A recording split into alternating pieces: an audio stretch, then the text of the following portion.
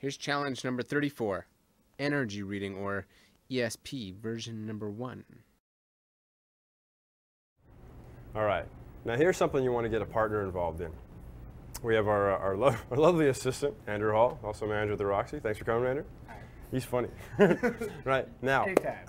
what you do is you set up, you know, I'm, uh, I'm pretty good at, uh, at, at energy and, and reading uh, just energy patterns and people, and I pay a lot of attention. I'm sort of very in intuitive that way. And uh, I can actually tell when people touch things, because when people touch things, they have an energy pattern, they have an aura, right? They leave a little bit of, of an energy trace. So um, what we're to do a little experiment, because most people don't believe me. So what we're going to do is, uh, I, have laid out a few objects here, right? And just all sorts of interesting things. And of course, we have our, our flair bottle here, because that's what we do, practice without killing anybody. Now, there's some straws over here. Uh, there's a beer bottle, there's a glass.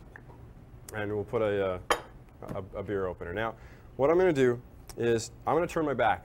And Andrew is going to pick an object right? And he's going to, to pick it up, and he's going to sort of, when he picks it up, he's, he's got to think about it. He's got to, he's got to hold it, and he's got to really sort of put his energy and his thought into it, uh, or else it won't work. You got to, you got to really try here. You got to help me out. So, so I'm going to turn I'm my back. Really skeptical about this. Well, I understand, I understand, but uh, you know, it's, it's you know, well, well, I guess we'll find out. So I'm going to turn my back.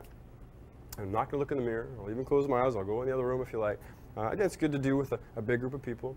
And uh, you're going to pick an object, you're going to pick it up, and you guys going to make sure he doesn't cheat or anything, right? Make sure he really gives the energy. And I'm going to come back, and uh, I'm going to be able to tell, uh, tell you which one that, that, uh, that you, you handled, that you fondled. All right. Alrighty then. All right, so I'm going to turn my back and walk away, and I'm not going to look, and you've got to give it your good energy, all right? Okay. So, okay, here we go. I'm not looking. The game begins. I'm not looking. Is he doing a good job? All right? All about the energy. Don't make me start singing. Tell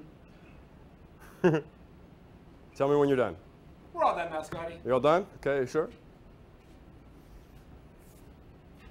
Oh, yeah, I'm feeling it. Come back and see if I uh, can actually do this. The game continues. Okay, so here we are. Now, as I said, I'm going to go through and I'm going to touch each object. I'm going to see what kind of energy I get from them, and uh, and we'll see how we go.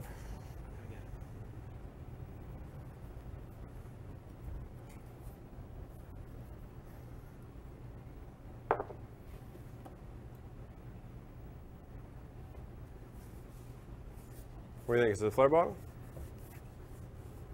Mm, No, I'm not. Uh, I don't know. Could be the straws?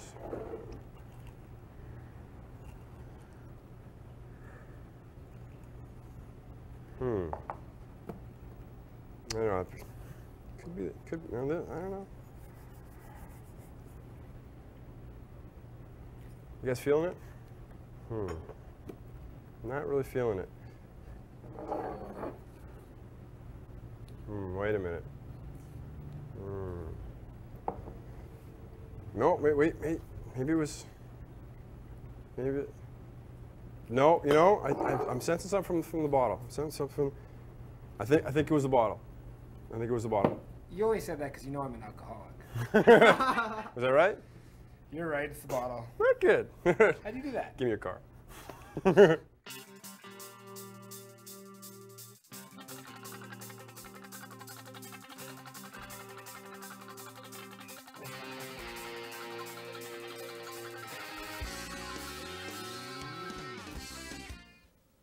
Here's the solution to that ESP version 1 game.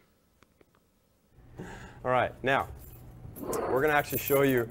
Thank you very much. You're All welcome. right, now we've made it pretty simple here. We've kind of minimized everything that's going on here. You might have figured this out. Now, in a big group of people, a lot of stuff going on, a lot of things that that are going on, the music and the lights and stuff. So basically, what I've done is I've got an accomplice. Okay, Martin's my partner. We're working together on this. So. Oh, so that's what you're doing here. Yes, you sneaky bastard. It's a teamwork thing. So what I've done basically is I've prearranged a signal. And now I happen to make the signal something that's going to happen all the time. He's drinking his beer and he puts it down on the coaster. Right? So basically, once I've gone through and I touched the right object, right, he's going to take his time and I'm going to take my time with things. I'm trying not to rush it. And as soon as I as soon as I touch it, at some point during while I'm touching it or after I've put it down, he's going to then give me the signal. And then I usually, just to throw him off, I go on to another object, and maybe even two, and then I go back, wait, wait, no, and you really play it up. It's a good, fun game. So um, if you do this properly and you practice a little bit, people will just not clue in. And change the signals. Change it to be, uh, you know, brush, brushing your hair. Right? That's a pretty obvious signal.